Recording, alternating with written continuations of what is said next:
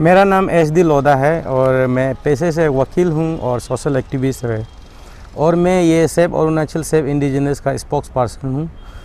और मैं अभी फ़िलहाल मैं दो इशू को लेके मैं एसासी का तरफ़ से एक वो इशू के लिए चेयरमैन हूँ। तो वो इशू को मैं क्लियर कट एक बताना चाहता हूँ। ऐसे ही दो इशू को गवर्नमेंट जो है, डिपार्टमेंट ऑफ़ इन्वायरमेंट फॉरेस्ट का दो इशू है, जिसको पब्लिक को छुपा के रखा है। जिसमें से एक इशू है, Itanagar wild life sanctuary.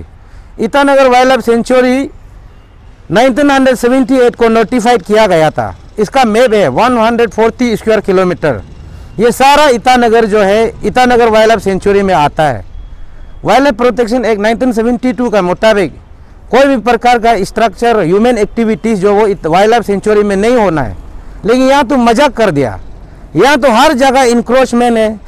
पूरा गवर्नमेंटल एजेंसी से लेकर प्राइवेट इंडिविजुअल तक या में तो वाइल्ड लाइफ सेंचुरी का बदले में ह्यूमन लाइफ सेंचुरी बन चुका है।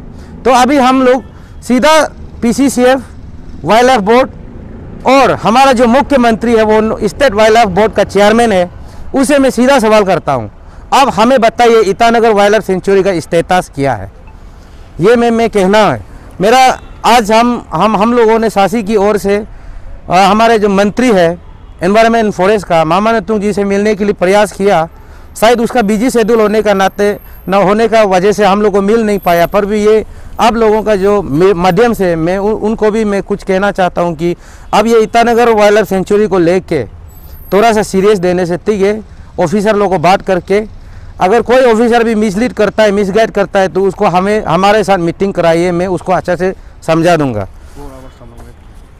इसके बाद में यूएसएफ पॉलिसी जो स्टेट में अभी तक पब्लिक को बुद्धू बना के रखा है अन क्लास स्टेट फॉरेस्ट जो कंपनी बाहर से आते हैं वो कहते हैं कि आ, ये जितना जंगल है पहाड़ है ये जो है यूएसएफ है।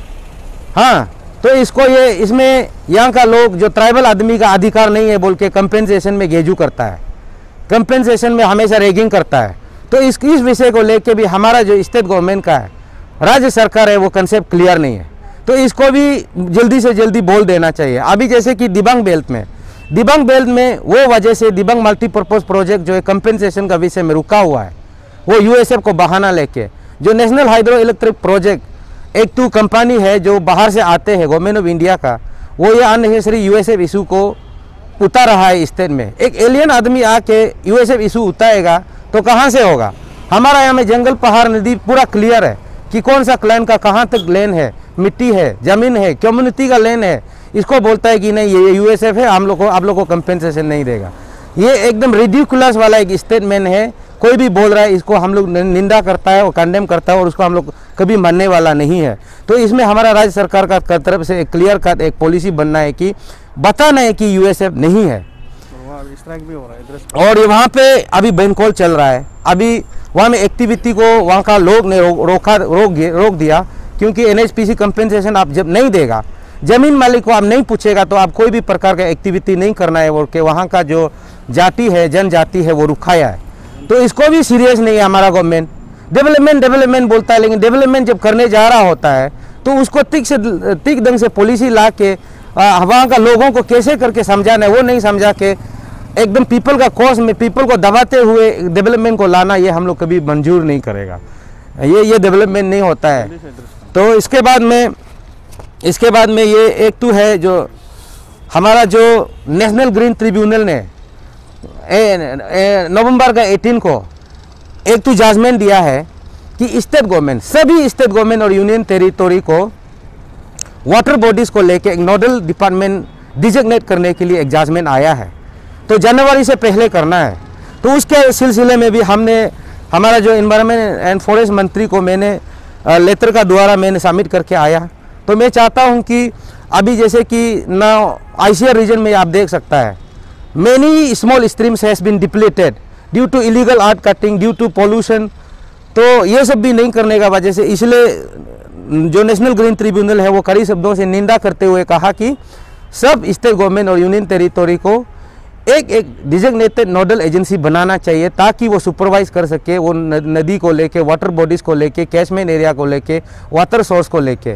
तो इसलिए मैं वो जो हमारा मंत्री है वो वाटर रिसोर्स डेवलपमेंट का भी है उसका ज़रिए वो नोडल एजेंसी को नियुक्त करना चाहिए जल्दी से जल्दी ताकि हमारा नदी भी बचे नाले भी बचे ना? और, ईटानगर वाइल्ड लाइफ सेंचुरी के बारे में हम थोड़ा और एक सेंटेंस कहना है। अभी जैसे कि हमको स्टेट गवर्नमेंट जो है क्लियर कट बताना है कि ईटानगर वाइल्ड लाइफ सेंचुरी कहाँ है और दुरपंग रिज़र्व फॉरेस्ट कहाँ है। ईटानगर वाइल्ड लाइफ सेंचुरी को डी नोटिफाई नहीं किया जा सकता है, लेकिन बाउंड्री को रेशनलाइज किया जा सकता है। जितना इंक्रोच हो गया, उतना छोड़ दो। उसका बाद जो बच्चा कुछ है, उसको रेशनलाइज करके दुर्पंग रिज़र्व फॉरेस्ट को आधा ले लो, उसको वाइल्ड लाइफ सेंचुरी घोषित कर दो। अभी सुना है कि दुर्पंग वाइल्ड लाइफ सेंचुरी में भी बड़ा बड़ा आदमी लोग मिट्टी लेके पूरा डेवलपमेंट कर रहा है। वो इंक्रोचमेंट वो इलीगल है और इसमें जो फॉरेस्ट डिपार्टमेंट है टोटली फेल हो गया। इसलिए हम तो सोचते हैं कि अभी जो पीसीसीएफ लोग हैं, जो जो बड़ा ऑफिसर लोग है पद अधिकारी लोग हैं, उसको यहाँ से ट्रांसफ़र भी करना चाहिए। क्योंकि वो लोग फेल हो चुका है। टोटली फेल और forest department in our state is totally fail it should be shut down क्योंकि अपना नोटिफाइड एरिया को नहीं बचा सक रहा है तो for what they are here they are doing salary from the government and they are doing they are not doing their duty what is that तो इसलिए हम तो डिमांड करते हैं under the aegis of safe Arunachal safe indigenous जो present जो PCCF है और जितना वहाँ में पद अधिकारी बड़े बड़े हैं, उसको पूरा को ताबदला करना चाहिए। वो अगर काम करने मन नहीं तो छोड़ देना चाहिए। और हमारा मंत्री से लास्ट बार मैं ये कहना चाहता हूँ कि आपने हर जगह दौरा किया। एक बार आईजी पार्क को भी दौरा कीजिए। इंक्रोचमेंट हो चुका है। उस सिलसिले में हम लोग बाद में कभी दिन मिलेंगे, मंत्री साहब को। अभी के लिए हम लोग को ईटानगर वाइल्ड लाइफ सेंचुरी और दुर्पंग रिज़र्व फॉरेस्ट का स्टेटस को बताने से हमको बहुत अच्छा लगेगा। अगर हमारा ये मांग को अगर गवर्नमेंट ने नहीं सुना, हमारा राज्य सरकार नहीं सुनेंगे तो हम मिनिस्ट्री ऑफ़ एनवायरनमेंट फॉरेस्ट को चिट्ठी लिखेंगे। अगर वहाँ पे भी नहीं होगा तो हमारा मांग को लेके मैं नेशनल ग्रीन ट्रिब्यूनल में जाऊँगा और वहाँ उस नेशनल ग्रीन ट्रिब्यूनल के द्वारा मैं पूछेंगे कि ईटानगर वाइल्ड लाइफ सेंचुरी और दोरपंग रिज़र्व फॉरेस्ट का इस्तेतास किया है।